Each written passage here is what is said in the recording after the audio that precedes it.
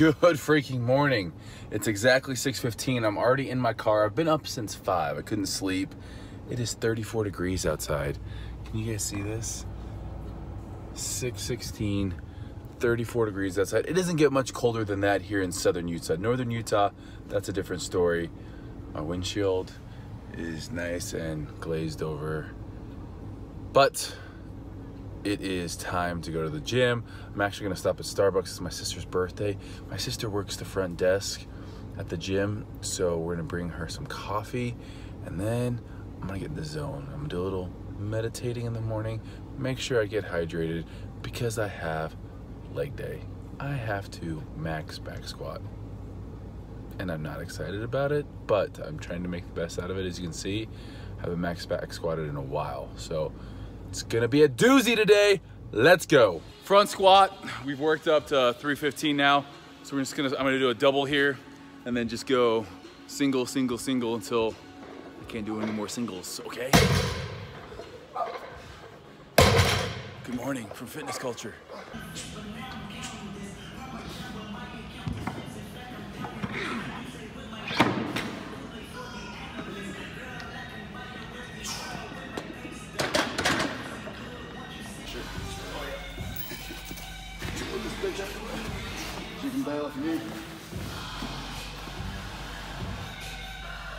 Oh, so easy.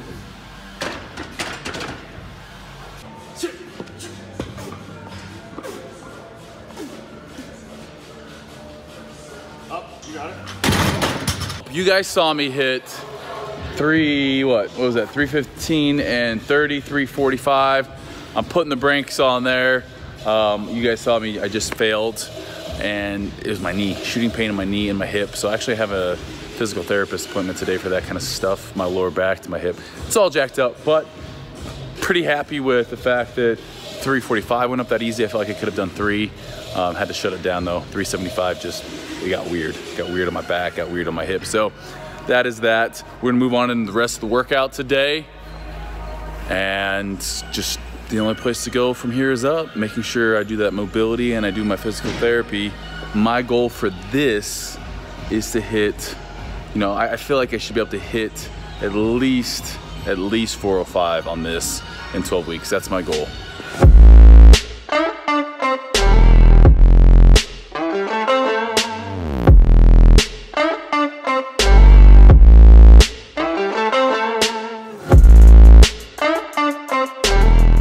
Do, day in the life of some gym owners. We're buying new equipment because we need some stuff out there. I made the mistake, I bought a bunch of equipment back in the day. This actually wasn't a bad buy from a gym that was going out of business, but a lot of the equipment is subpar. So now we're going through, we're buying all sorts of new equipment. It's fun, but pricey. We're here to check out this refrigerator and I found it on Craigslist, so I'm gonna try to make a deal. They're asking 350. I'm gonna see if I can't get them down to $300 and use my negotiating skills. All right, here's the fridge. It's definitely in working condition. It's it's all right, man. And what was your name? Aaron. Aaron. Hey.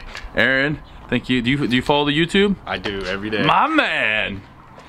All right, I'm I'm digging it. I did I, I, I did tell the people I was gonna say, would they take 300 for it? Of course, for Steve. Perfect, let's do it. Man, I just, I absolutely love it when that happens. I absolutely love it when that happens. It's cool when you're, you know, searched on Craigslist for a fridge and the person follows you. Now I kind of feel bad for asking for it for 300 rather than 350, but I told you guys I was gonna try to finagle down to 300. But it was the fridge looked good, everything looked good. Now that I'm up here in this neighborhood, I kind of wanna go see if I can find maybe a potential lot. Let's go try to find a lot up here because I like the views. This is kind of what I'm talking about. Good views up here. Looks pretty dope. I don't know if I can walk on this. How soft is this? Oh, I'm gonna get my shoes dirty. But, oh, these are all walkout basements. I do not want to have to build a walkout basement. I'm not a walkout basement kind of guy. I think that you spend all of your time in your kitchen and living room area and you need to have your pool right outside your kitchen. Like my, my the thing I want is a kitchen that overlooks this amazing living room with vaulted ceilings and a door that opens from, you know, you can go from the kitchen outside and also the living room right outside to a covered patio. outdoor kitchen, and pool area. That's what I'll have. So these are a no-go because they're all walkout basements. I refuse. I do like that view though.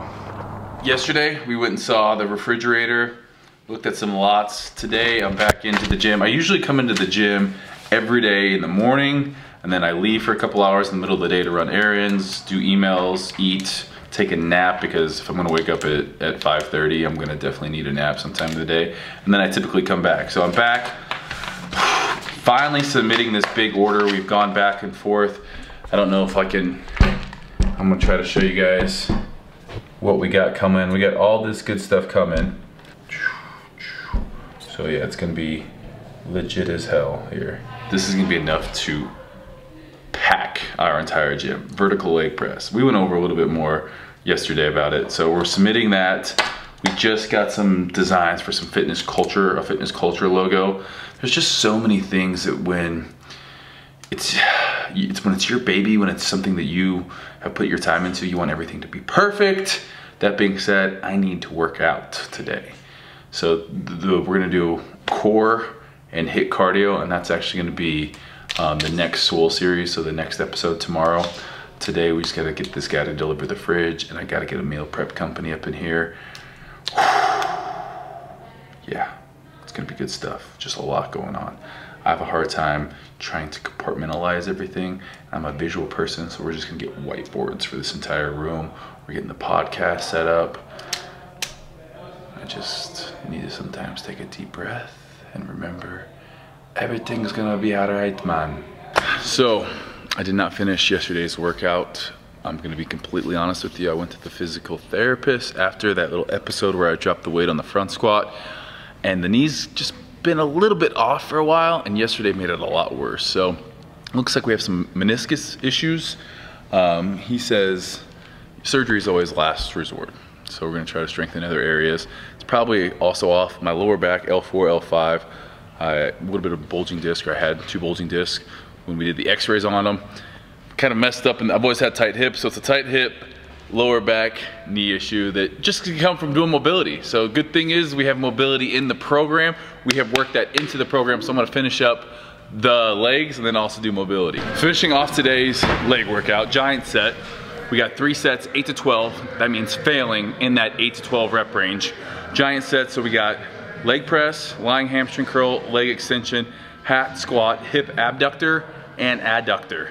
So what we're gonna be doing, each one, I'll do an exercise, 30 seconds, straight into the next exercise, straight into the next exercise. After I complete the full round, I rest for two minutes and then do it all over again. So we get three rounds of that. And then from there, we got a lower body mobility routine. So it's just what I'm needing. More mobility in my life.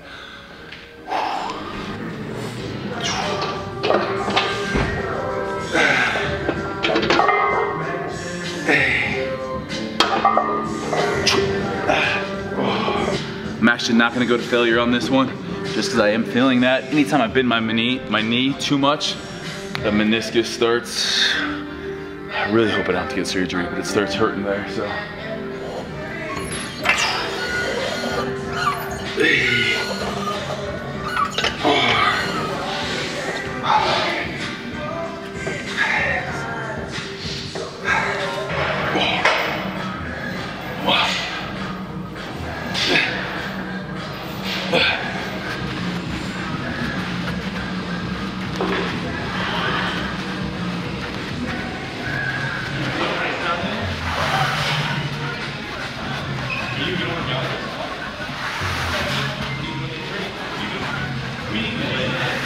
The groin plate slides are a good substitution if you don't have a hip abductor, adductor, ADD. So groin plate slides and then our walking banded, that's a good for the abductor. So your abductors, adductors, adductors, abductors. I always get confused on those. So think of it this way. An abductor is when your leg is going away from your midline. So anytime you're, you're seated or you're walking, those are abductors. If you're bringing something in, like the groin plate slides, or that machine where you're here, that's adducting. You're adding it. Think of it that way.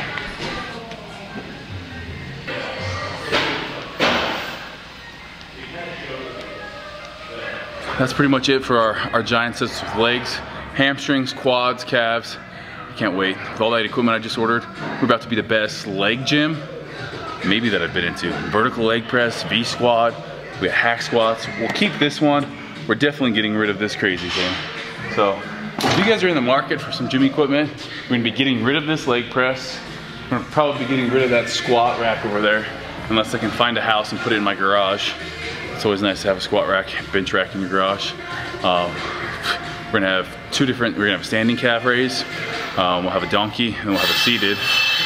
This place, the legs in this place, this will be the place you wanna come and grow your legs. You might have just leg growth camps. Speaking of camps, I think we're probably actually gonna do our first camp um, in February if all things work out. I got some traveling I gotta do for Gymshark, and of course Australia. My line for Gymshark releases in Melbourne. I think we're gonna be doing it the same weekend as the Arnold in Australia. So if you're from Oz and you wanna come to that, it's gonna be amazing in Melbourne in a cool warehouse spot. And the clothes are absolutely sick. So anyhow, that's it for today. It's kind of a day in the life of a gym owner. We still gotta go pick up that fridge. Um, but you work out, you talk to people as they're coming in, you work out some more, you do a bunch of stuff online, marketing, just growth, business growth stuff, and you try to get it all in and still have time for friends and family and your dog who is at my sister's house right now. I'm gonna go pick her up after this. I'm coming, Poppy. Don't worry, Daddy's coming. Thanks for guys. Thank you for watching. We're on our way to a million.